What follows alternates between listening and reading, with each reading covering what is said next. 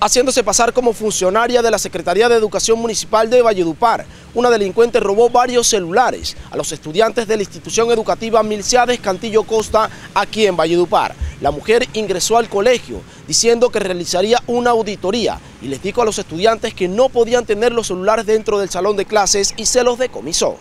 Las cámaras de seguridad de la institución educativa Milciades Cantillo captaron el momento exacto en que una delincuente ingresó al establecimiento haciéndose pasar por una funcionaria de la Secretaría de Educación Municipal y luego le robó los celulares a varios estudiantes. Según se conoció, la ladrona dijo que era auditora y que iba a realizar varias actividades al interior del plantel con los estudiantes.